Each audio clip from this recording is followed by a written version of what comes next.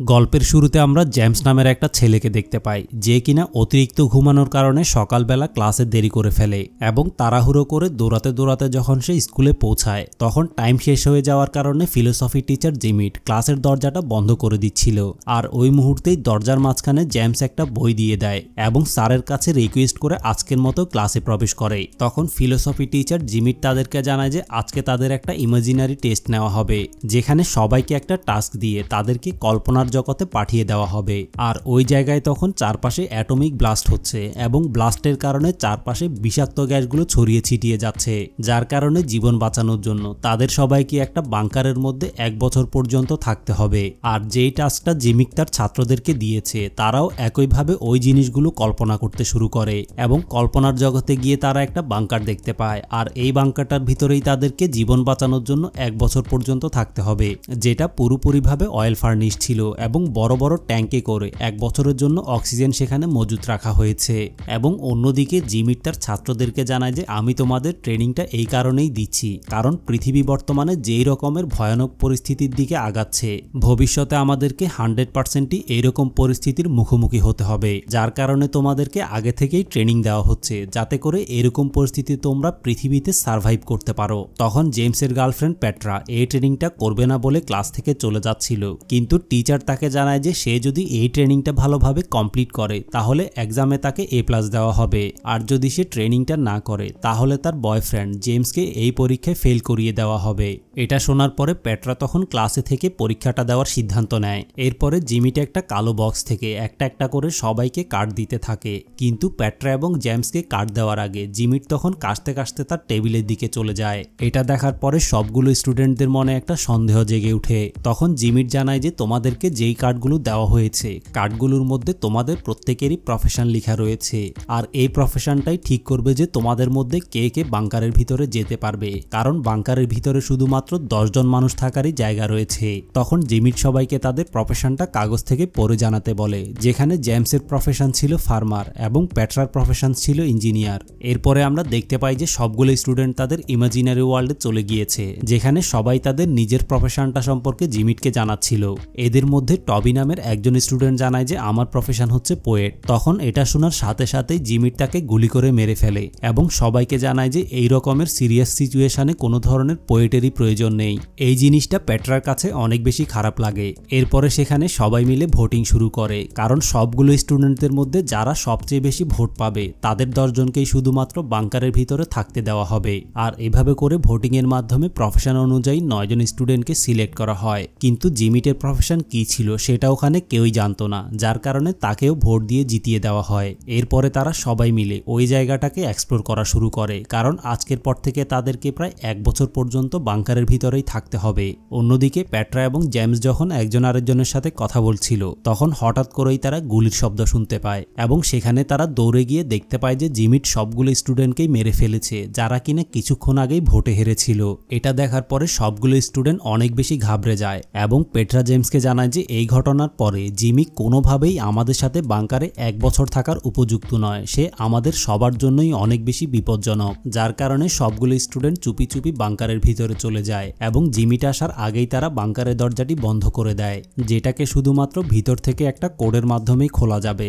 এরপরে রাতের বেলা যখন প্যাট্রা হাঁটতে হাঁটতে দরজার সামনে আসে, তখন সে জিমিটকে দরজার সামনে খুব খারাপ অবস্থায় দেখতে পায়, যে কিনা নিউক্লিয়ার রেডিয়েশনের কারণে হয়তো কয়েক মিনিটের মধ্যেই মারা যাবে এবং মৃত্যুর আগে সে একটা কাগজে লিখে জানায় যে এখান থেকে বের হওয়ার পাসওয়ার্ডটা শুধুমাত্র সেই জানে এবং পাসওয়ার্ড ছাড়া তারা কেউ এই বাংকারটা থেকে বের হতে পারবে না। আর এটা দেখানোর সাথে সাথেই জিমিট সেখানে মারা যায়। এই ব্যাপারটা জানার পরে সবগুলি স্টুডেন্ট অনেক বেশি ঘাবড়ে যায়। কিন্তু তারা একজন আরেকজনকে সান্ত্বনা দেওয়ার চেষ্টা করে যে জিমিট হয়তো মিথ্যা বলেছে। আর এই জিনিসটা এক বছর পার হওয়ার পরেই তারা বুঝতে পারবে। কারণ এক বছর পার হওয়ার আগে তারা ভুলেও এই গেটটা খোলার চেষ্টা করতে পারবে না। এরপরে সবগুলো স্টুডেন্ট বাংকারের ভিতরে তাদের সময় পার করছিল এবং পেট্রা প্রতিদিন রাতে এসে গেটের সামনে বসে বসে জিমিটের পচা গলা লাশটা দেখতে থাকে। আর এভাবে করে বাংকারের ভিতরে তারা আস্তে আস্তে করে পুরো একটা বছর কাটিয়ে দিয়েছে। এরপরে জেমস যখন বাংকারের গেট ওপেন করতে যায়, তখন সে কোনোভাবেই গেটটি ওপেন করতে পারছিল না। তার মানে হচ্ছে জিমিক ঠিকই বলেছে, পাসওয়ার্ড ছাড়া এই গেটটাকে কখনোই খোলা যাবে না এবং ওই পাসওয়ার্ডটা তাদের মধ্যে কেউই জানতো না, যার কারণে প্রত্যেকটা স্টুডেন্ট গেটটা খোলার বিভিন্নভাবে চেষ্টা করে যেমন কি গান দিয়ে ফায়ার করা। কিন্তু কোনো কিছুতেই কিছু হচ্ছে না। অন্যদিকে এক বছর পার হয়ে যাওয়ার কারণে বাংকারের ভিতরের অক্সিজেনও শেষ হয়ে গিয়েছে। আর এই জন্যে আস্তে আস্তে করে সবগুলো স্টুডেন্ট বাংকারের ভিতরেই মারা যায়। এরপরে সবগুলো স্টুডেন্টকে আমরা ক্লাসরুমের ভিতরে দেখতে পাই, যেখানে জিমির তাদেরকে জানায় যে এরকম পরিস্থিতিতে আমাদের নিজেদের কন্ট্রোল রাখা উচিত। তখন সেখান থেকে একজন স্টুডেন্ট জিমিটকে জিজ্ঞেস করে যে, আপনি কীভাবে বাংকারের পাসওয়ার্ড জানেন? তখন জিমিট সবাইকে তার প্রফেশন কার্ডটা বের করে দেখিয়ে বলে, আমার প্রফেশনই হচ্ছে বাংকার বিল্ডার যার কারণে এই বাংকারের এ টু জেড সবকিছুই আমার জানা রয়েছে। এরপরে এক্সারসাইজের দ্বিতীয় রাউন্ড শুরু হয়ে যায়। এই রাউন্ডে তাদেরকে এমন একটা জায়গায় নিয়ে যাওয়া হয়েছে, যেখানে কিছুক্ষণ পরেই বিশাল বিশাল আগ্নেয়গিরিগুলো বিস্ফোরিত হবে এবং নিউক্লিয়ার রেডিয়েশনের মাধ্যমে পৃথিবীর সবগুলো মানুষ মারা যাবে, যার কারণে এই জায়গার মধ্যেও তাদেরকে একটা বাংকারের ভিতরে থেকে জীবন বাঁচাতে হবে এবং এক বছর পরে বাংকার থেকে বের হয়ে পুনরায় আবার পৃথিবীটাকে রিপপুলেট করতে হবে। এইবার সর্বপ্রথমে বাংকারে গিয়ে জিমিট আগে থেকেই একটা গান নিয়ে নেয়। অন্যদিকে আগে থেকেই ক্লাসরুমের মধ্যে সবাইকে প্রফেশন কার্ড দেওয়া হয়েছিল, যেখানে জেমস এইবারও একজন ফার্মার এবং এর পাশাপাশি সে একজন গে যার কারণে সে মেয়েদের সাথে কোনো শারীরিক সম্পর্ক করতে পারবে না এবং বাচ্চাও জন্ম দিতে পারবে না। কিন্তু ফার্মার হওয়ার কারণে সবার ভোট পেয়ে জেমস সিলেক্ট হয়ে যায় এবং আগের মতোই এখানে কিছু স্টুডেন্ট সিলেক্ট হয় এবং কিছু স্টুডেন্ট ভোট আউট হয়ে যায়। কিন্তু রহস্যজনকভাবে জিমিট আগের মতো করেই এই জায়গায়ও পোর্টকে সর্বপ্রথমেই গুলি করে মেরে ফেলে এবং সবাইকে জানায় যে, এইবার আমি নিজেই পোয়েট হব। আর এগুলো দেখার পরে সবাই তখন অনেক বেশি ভয় পেয়ে যায় এবং যারা কিনা ভোটে হেরে গিয়েছিল, তারা তাদের জীবন বাঁচানোর জন্য ওই জায়গা থেকে পালানো শুরু করে। কিন্তু কিছু দূর যাওয়ার পরে একটা ভলকানো ইরাপশানের কারণে তারা সবাই একসাথেই মারা যায়। তখন বাকি স্টুডেন্টরা জিমিট সহ বাংকারের ভিতরে চলে আসে। রাতের বেলা প্যাট্রা যখন জেমসের কাছে যায়, তখন সে দেখতে পায় যে জেমস সেখানে জ্যাক নামের একটা ছেলের সাথে ইন্টিমেট হচ্ছে। এটা দেখার পরে রেগে গিয়ে প্যাট্রা সেখান থেকে চলে যায়, কিন্তু জেমসও তার পিছে পিছে গিয়ে তাকে বোঝানোর চেষ্টা করে। কিন্তু প্যাট্রা তখন জেমসের আর একটা কথাও শোনে না। এরপরে সবগুলি স্টুডেন্ট একজন আরেকজনের সাথে ডিসকাস করতে থাকে যে এখানে কে কাকে তার পার্টনার বানাবে, যাতে করে তারা পুনরায় আবার পুরো পৃথিবীটাকে রিপপুলেট করতে পারে। এভাবে করে সবাই তাদের নিজ নিজ পার্টনারকে বেছে নেওয়ার পরে সেখানে প্যাট্রা এবং জেমস বাকি রয়েছে। কিন্তু জেমস তখন প্যাট্রাকে তার পার্টনার হিসেবে বেছে নিতে অস্বীকৃতি জানায়। কারণ এই ওয়ার্ল্ডে জেমস একজন গে, যার কারণে সে মেয়েদের সাথে কোনোভাবেই শারীরিক সম্পর্ক করতে পারবে না। এর ফলশ্রুতিতে প্যাট্রা তখন জিমিটকে তার পার্টনার হিসেবে বেছে নেয়। এটা দেখার পরে জেমসের অনেক বেশি খারাপ লাগে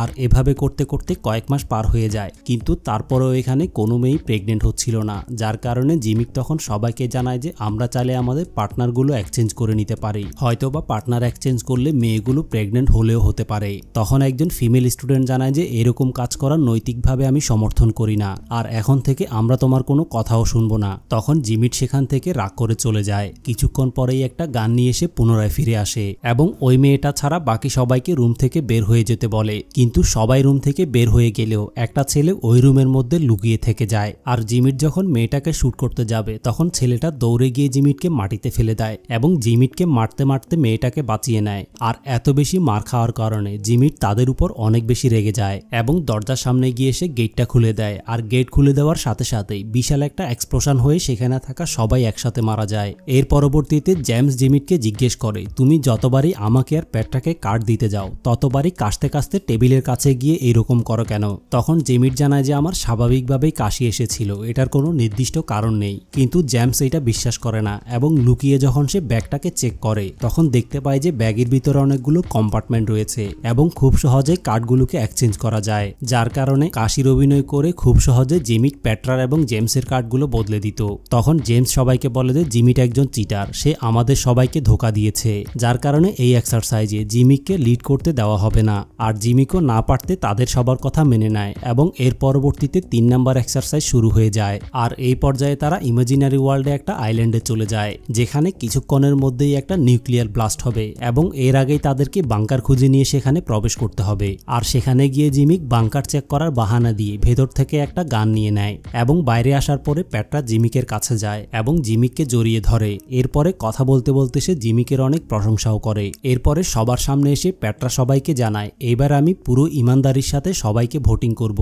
তোমরা যদি আমার সাথে একমত হও তাহলে হাত তুলো। তখন সবগুলো স্টুডেন্ট হাত তুলে তাকে সমর্থন জানায়। কিন্তু এইবার প্যাটরা বেশিরভাগই ওই ধরনের স্টুডেন্টদেরকে সিলেক্ট করেছে, যাদেরকে প্রত্যেকবারই জিমিক গুলি করে মেরে ফেলতো। তখন জিমিকে এসে প্যাট্রাকে বলে যে, তোমার এইবারের সিলেকশন একেবারেই জঘন্য হয়েছে, আর এটার কারণে আমি তোমাকে পরীক্ষায় ফেল করিয়ে দিব। কিন্তু এবার তারা জিমিকের কোনো কথাই শুনে না, এবং লাস্টে শুধুমাত্র জেমস এবং জিমিক বাকি ছিল। আর সেখান থেকে প্যাটরা জেমসকে সিলেক্ট করে এবং জিমিককে ভোট আউট করে দেয়। আর এটা দেখার পরে জিমিক অনেক বেশি রেগে গিয়ে যখন ব্যাগের ভিতর থেকে গান বের করতে যায়, তখন তার ব্যাগের ভিতরে কোনো গানই ছিল না। তখন প্যাটরা এসে জিমিককে তার গানটা ফিরিয়ে দেয়, যেটা সে জড়িয়ে ধরার বাহানা করে জিমিকের কাছ থেকে চুরি করে নিয়েছিল। এরপরে যখন সে জেমসকে গুলি করতে যায়, তখন গানের ভিতরে কোনো বুলেটই ছিল না, কারণ বুলেটগুলো আগে থেকেই প্যাটরা বের করে নিয়েছিল। তখন প্যাটরা জিমিককে জানায় যে, এটা তোমার একটা টেস্ট ছিল। আর এইবার যদি তুমি স্টুডেন্টদেরকে গুলি করার চেষ্টা না করতে, তাহলে হয়তো আমি হান্ড্রেড পার্সেন্টই তোমাকে সিলেক্ট করে নিতাম। কিন্তু এই টেস্টের মধ্যে তুমি ফেল করেছ। এরপরে সে জিমিককে বুলেট দুইটা ফিরিয়ে দেয়। অন্যদিকে জেমস তার দিকে একটা রাইফেল তাক করে থাকে। আর এই রাইফেলটা সেও বাংকার থেকে প্রথমেই সরিয়ে রেখেছিল। তখন জিমিক সবাইকে বলে যে, তোমরা চাইলেও আমাকে আর মারতে পারবে না। কারণ এক বছর পরে যখন তোমরা সবাই বাংকার থেকে বের হবে, তখন পাসওয়ার্ডের জন্য আমাকে তোমাদের অবশ্যই প্রয়োজন হবে। কারণ আমি ছাড়া বাংকারের পাসওয়ার্ডটা কেউই জানে না। তখন পিছন থেকে ফিমেল স্টুডেন্টটা বাংকারের পাসওয়ার্ডটা জিমিককে বলে দেয়। আর এই পাসওয়ার্ডটা সে তখনই জেনে গিয়েছিল, যখন দ্বিতীয় রাউন্ডে রেগে গিয়ে জিমিক বাংকারের দরজা খুলে ফেলেছিল। এটা জানার পরে জিমিক একেবারেই শকড হয়ে যায় এবং রেগে মেগে ওই জায়গা থেকে চলে যায়। তখন প্যাট্রা তার জায়গার মধ্যে চিপসকে বাংকারের ভিতরে পাঠায় এবং জেমসকে বলে যে সে ডিসকোয়ালিফাইড স্টুডেন্টদের সাথে বোটে করে পাশের একটা আইল্যান্ডে চলে যাবে। তখন চিপস প্যাট্রাকে বলে যে, বোটের চাবি তো আমার কাছে। এটা শোনার পরে প্যাট্রা যখন চাবি নিতে আসে, চিপস তখন প্যাট্রাকে টেনে বাংকারের ভিতর ঢুকিয়ে ফেলে এবং বাইরে বের হয়ে এসে বাংকারের দরজাটি লাগিয়ে দেয়। এরপরে সে বাইরে দাঁড়িয়ে থাকা স্টুডেন্টদের সাথে বোটে করে অন্যদিকে চলে যায়। এই দিকে বাংকারের ভিতরে থাকা স্টুডেন্টরা অনেক হাসি খুশিভাবে তাদের সময় কাটাতে থাকে আর এভাবে করে এক বছর পার হয়ে যাওয়ার পরে যখন তারা বাংকার থেকে বের হয়ে আসে, তখন বাইরে এসে তারা দেখতে পায় যে এখনও পর্যন্ত কোনো অ্যাটমিক ব্লাস্ট হয়নি। এরপরে ক্লাসরুমে এসে জিমিক সবাইকে জানায় যে এখনও পর্যন্ত অ্যাটমিক ব্লাস্ট হয়নি। তার মানে এটা ভেবো না যে তোমরা সবাই বেঁচে গিয়েছ। কারণ টিমের মধ্যে তোমরা কোনো বিল্ডার সিলেক্ট করনি যে কিনা তোমাদেরকে এমন একটা ঘর বানিয়ে দিতে পারবে। সেই ঘরের মধ্যে থেকে তোমরা অ্যাটমিক এনার্জির হাত থেকে বাঁচতে পারবে। এমনকি তোমরা কোনো ফার্মার সিলেক্ট করনি যে তোমাদেরকে খাবার উৎপাদন করে দিবে এবং তোমরা কোনো ডাক্তারও সিলেক্ট করনি যে কিনা তোমাদেরকে রোগবালাইয়ের হাত থেকে বাঁচিয়ে তুলতে পারবে। আর এই কারণেই তোমরা কিছুদিনের মধ্যে সবাই মারা যাবে এবং তোমরা সবাই পুনরায় আবার বাংকারেও যেতে পারবে না, কারণ ওইখানে সবগুলো অক্সিজেন শেষ হয়ে গিয়েছে। তখন প্যাট্রা সবাইকে বলে যে, এবার আমি একেবারেই মন থেকে ডিসিশন নিয়েছি এবং তোমরা সবাই বাংকারের ভিতরে অনেক হাসি খুশিভাবেই জীবন কাটিয়েছ। আর এইবারও যদি আমাদেরকে মরতে হয়, তাহলে এই মৃত্যুটা আমি একেবারেই হাসি খুশিভাবে মেনে নিব। এর কিছুক্ষণ পরেই তাদের পাশে এসে একটা অ্যাটমিক বোম পড়ে এবং জেমস যখন অ্যাটমিক বোমাটার বাটন প্রেস করতে যাবে, তখন হাতের মধ্যে গান নিয়ে সেখানে জিমিক চলে আসে এবং জিমিকের তখন একেবারেই বাজে অবস্থা ছিল। জিমিক তখন সবাইকে জানায় যে সে কীভাবে ভয়ঙ্কর পরিস্থিতির মাধ্যমে সময় কাটিয়েছে। বেঁচে থাকার জন্য সে এক বছর ধরে আন্ডারগ্রাউন্ড গুহার মধ্যে ছিল। এবং সেখানে সে এত বেশি পরিমাণে ভয়ঙ্কর পরিস্থিতিতে সময় পার করেছে যেটা তারা কোনোভাবেই কল্পনা করতে পারবে না। এই সব কিছুর জন্য সে শুধুমাত্র জেমসকে দায়ী করছে। আর এখনও পর্যন্ত সে বন্দুকের ভিতরে একটা বুলেট রেখে দিয়েছে এবং এটা শুধুমাত্র জেমসকে মারার জন্য বাঁচিয়ে রেখেছে। তখন প্রত্যেকটা স্টুডেন্ট জেমসকে বাঁচানোর জন্য একজন একজন করে জেমসের সামনে এসে দাঁড়িয়ে যায় এবং এরপরে তাদের আর এই আইল্যান্ডে থাকার কোনো কারণই বেঁচে নেই, যার কারণে জেমস বোমটি ডেটোনেট করে দেয় এবং সাথে সাথেই তারা ওই আইল্যান্ড থেকে গায়েব হয়ে যায়। এরপরে বাকি স্টুডেন্টরা ক্লাসের মধ্যে চিপসকে জিজ্ঞেস করে, তুমি অন্য আইল্যান্ডে গিয়ে এক বছর ধরে কি করেছ? তখন চিপস জানায় যে, বোটে ওঠার পরে আমি ইমাজিন করেছি যে, বোটের মধ্যে থাকা সবগুলো ছেলে মারা গিয়েছে এবং তারপরে আমি একা একা বাকি ছয়টা মেয়ের সাথে এক বছর ধরে মজা মাস্তি করতে করতে ওই আইল্যান্ডে কাটিয়ে দিয়েছি। এরপরে জিমিট সবাইকে তাদের বই সাবমিট করে বাসায় চলে যেতে বলে। সবাই বই জমা দিয়ে চলে গেল, প্যাটরা ওই জায়গার মধ্যেই থেকে যায় এবং ক্লাসরুমের দরজা বন্ধ করে। জেমিটকে বলে যে, আমি সব কিছুই জানি, তুমি কি কারণে জেমসকে সবসময় ভুল প্রফেশন দিয়েছ। কারণ তুমি জেমসকে একেবারেই পছন্দ করো না। তখন জেমিট প্যাট্রাকে বলে যে জেমস তোমার জন্য উপযুক্ত নয়। আসলে মূল কথা হচ্ছে জেমিট প্যাট্রাকে পছন্দ করত, যার কারণে সে এই রকম করেছে। তখন প্যাট্রা জেমিটকে জানায় যে, তুমি আমাকে জীবনেও পাবে না, কারণ আমি জেমসকে পছন্দ করি। আর এই কথা বলার পরে প্যাট্রা জেমিটকে একটা কিস করে এবং কিস করে ওই জায়গা থেকে চলে যায়। এরপরে জেমিট সেখান থেকে ক্লাসরুমে চলে যায় এবং ক্লাসরুমে গিয়ে ডিফারেন্ট পসিবিলিটিসগুলো ইমাজিন করতে থাকে, যেগুলোর মধ্যে একটাতে সে পেট্রার সাথে সংসার করছে এবং অন্য আরেকটাতে সে নিজেকে নিজে শ্যুট করে মারা যায়।